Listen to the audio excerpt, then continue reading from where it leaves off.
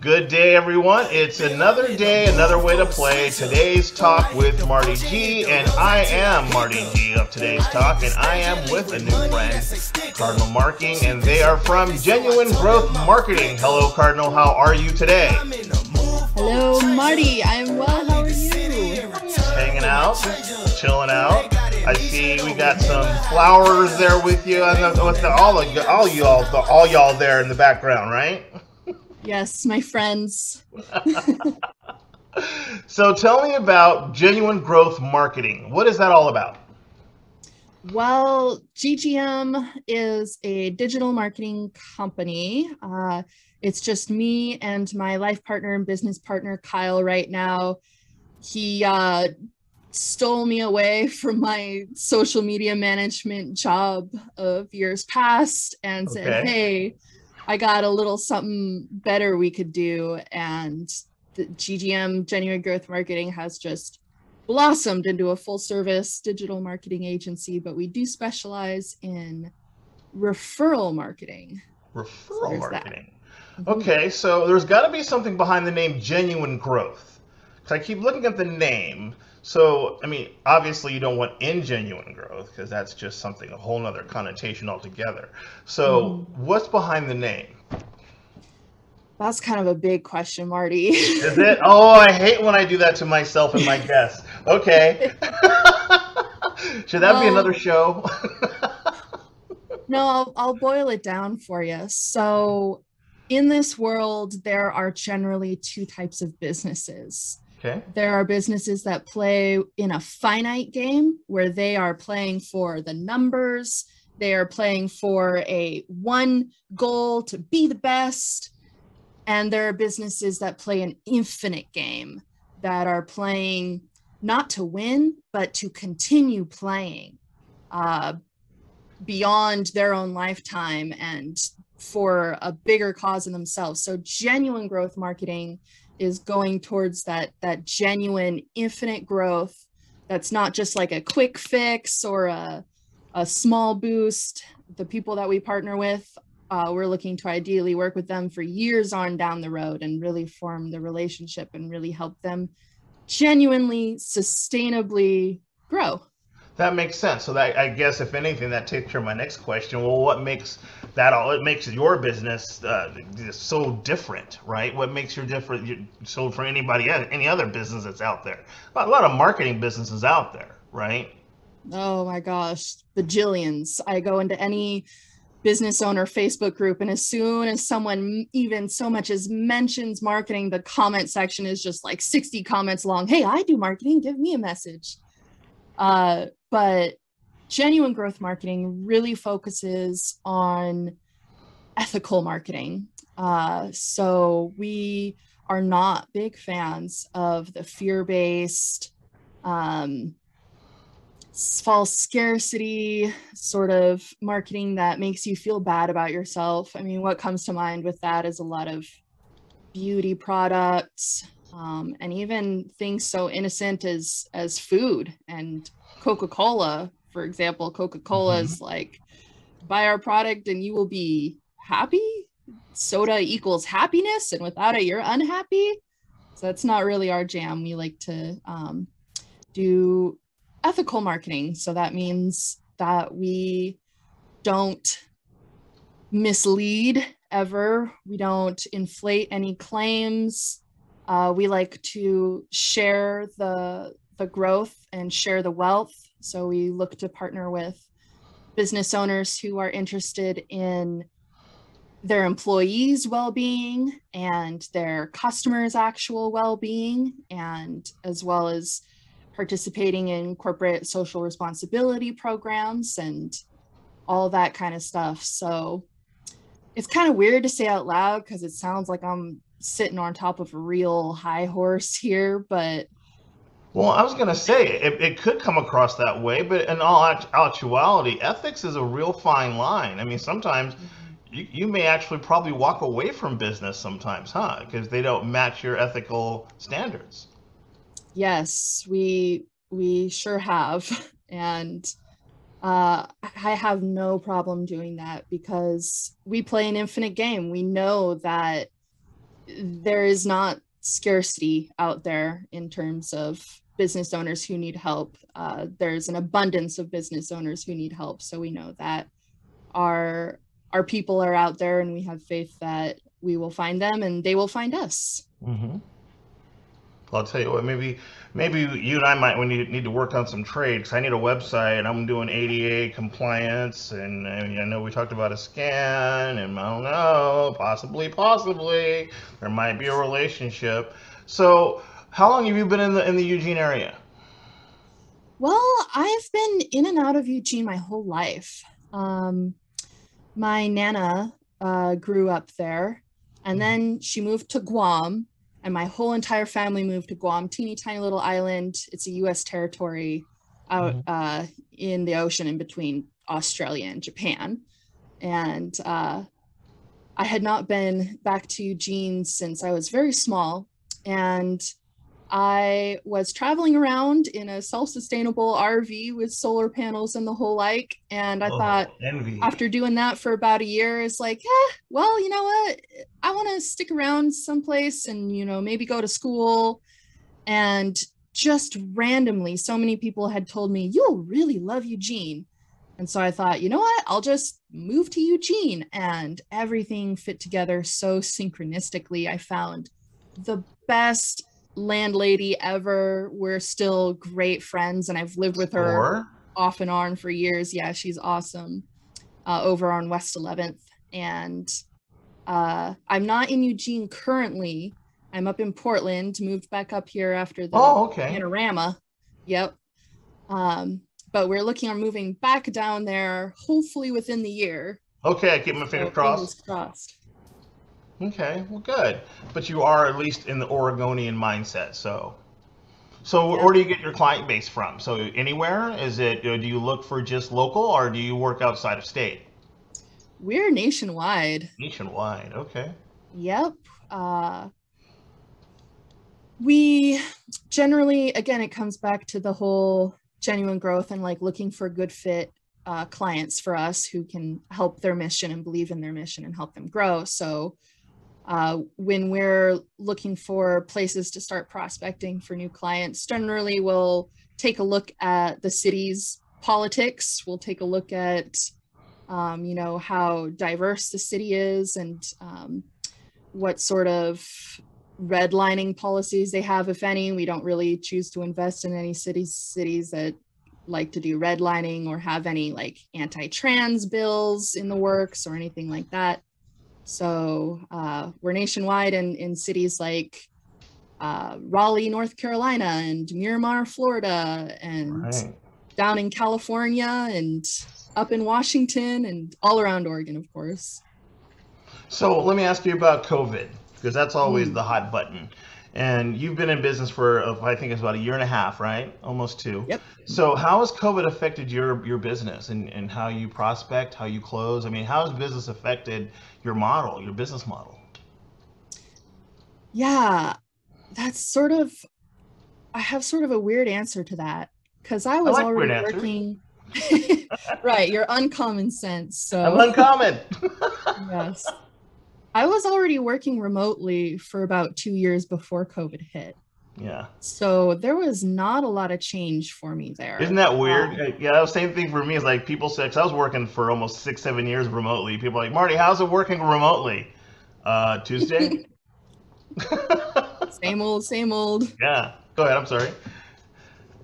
Uh, so uh, I think that the way it's impacted us is that we've just really had an influx of business owners who are realizing that the online presence is really important for their business. Um, and I wish that it didn't take uh, such a hard blow to yeah.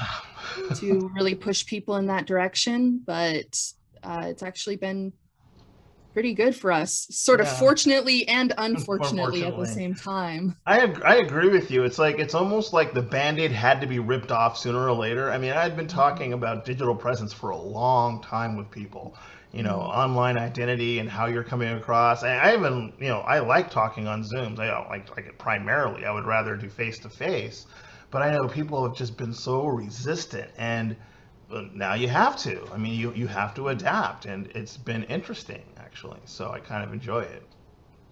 That just plays in again. I'm obsessed with the Infinite Game. If anyone has not read it yet, it's called The Infinite Game by Simon. Sinek, and it is a, a relatively new book, but it has some very old concepts in there. And what you just said about having to adapt, that's a part of the infinite game. You know, a business is not a business just because it does what it's always done.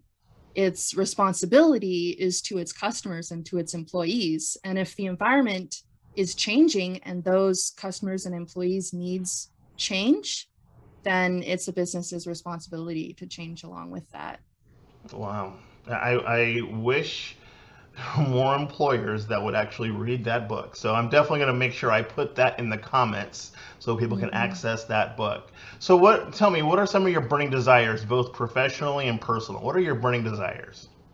Oh, numerous. I'm on fire. Oh my god, it's a fire. Get a hose. Put the fire out. the oh, gosh. on fire. so we've got a real passion for the earth. Okay. Um, because we do play infinitely, and if we don't have a planet to play on, well, then it's not going to be very infinite, is it? No, it's not.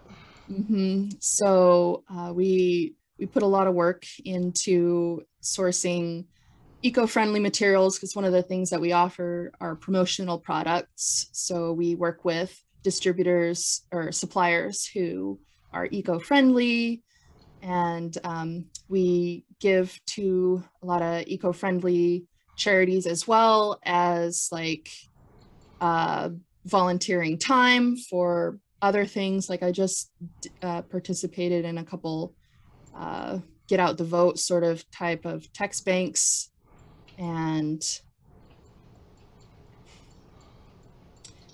oh my gosh as an artist there's always the burning desire to create. So mm-hmm. i spend all day every day creating creating creating. I have a, a value that is create more than consume. So okay. that's just like baked into my very fiber. So yeah. hopefully you don't have this arsonist thing. I keep hearing fire bake uh, one of the one of the uh, mediums I do play with is alcohol ink, and oh, okay. alcohol ink is extremely flammable, and I yeah. do like to set that on fire sometimes. And that's nice. I have to see some of some of the work you've done. So I, am always really big, and even though you're in Portland, but we've just talked about it, you know, especially with the state of the world. I mean, th- there's nothing that no one's untouchable. I mean, literally, the world of referral business has changed completely. So I always want to make sure I find a way to get people referred, right? So if me or our viewers can find a way to help you, what's the what's, what kind of referrals can we get you? What what kind of referrals can we bring to uh, genuine growth marketing? What can we do? What, what's the best way to help you out? That's a nice question. I appreciate that. Yeah. Um, the best way to help us out is to look in your own business and define your just cause. Why are you in business? Not your origin story of how you got to get in business, but why are you in business? What are you hoping to bring to the world and, and advance in the world? We really want people and business owners because we believe business owners can be wonderful agents of good change mm-hmm. in the mm-hmm. world. Mm-hmm. Uh, unfortunately, they've also been not so great agents of change. They've been more like secret CIA agents upturning foreign governments. right, right. Um, so first of all, I just if you're a business owner, get in touch with yourself and really ask yourself, what are you uh, what are you in business for? Okay. Uh, but second of all, if you want to send us some business, we're looking for those kind of business owners who have a mission and who also want to grow. So if you're fine just being a one man band, then that's awesome. Marti's like, no. I'm too old to be a one man band. I need to be a one man uh, photocopy machine. I need to just duplicate myself over and over again. I'm like, I'm listening to what you're saying, and I'm going, yep, I know why I'm doing this. I know what my passion is, and I don't want to do this by myself. So I think I'm your perfect client. Oh, so I'm referring myself to you. yeah, maybe we can work out a trade. I love doing work trade. It's it's one Yeah. of my favorite ways. yeah. Um, and really, it's also people who have a phone driven business. So, how I like to explain that is instead of do do do walking into a a pizza shop and ordering the pizza at the pizza shop, you would call up the pizza shop and say, "Hey, I need a pizza," and order it on the phone because that's easier for us to get you customers too, Right. uh, right. rather than getting them to your physical location. Okay. Cool.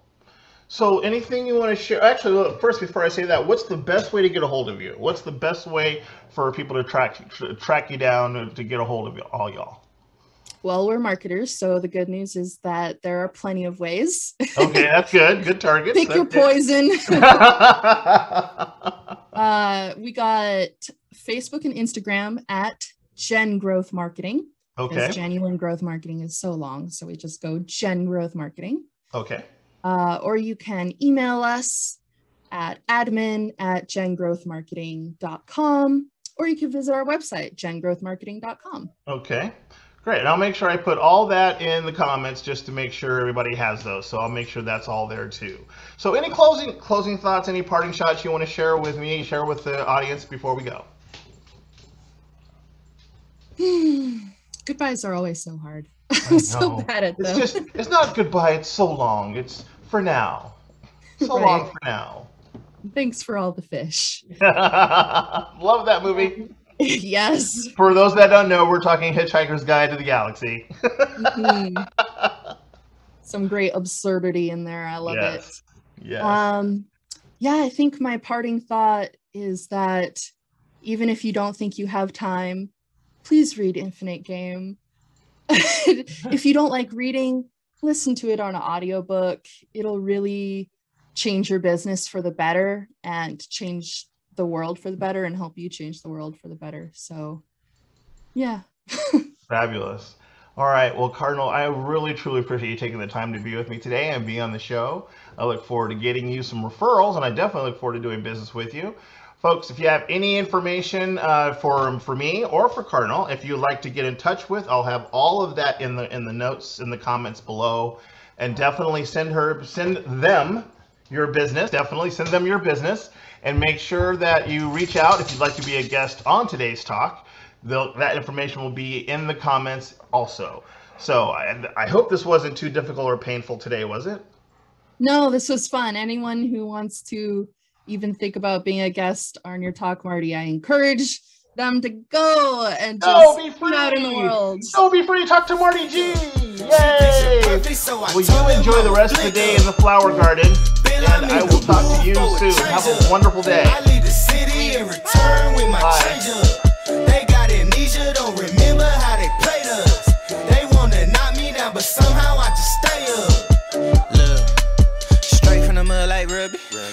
Straight to the stage, they love me.